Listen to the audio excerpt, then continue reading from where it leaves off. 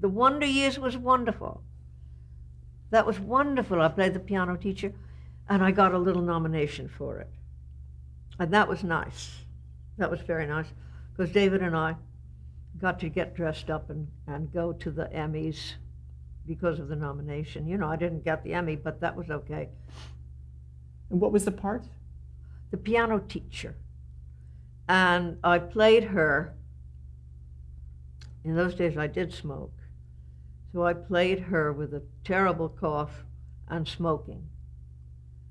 So, so I think that I think that's what I did. I don't remember exactly, but I think so. What was it like working with that group, that ensemble? It was great. They were dear. And I didn't really work with them. I worked with Freddie. And he was dear. He was very nice.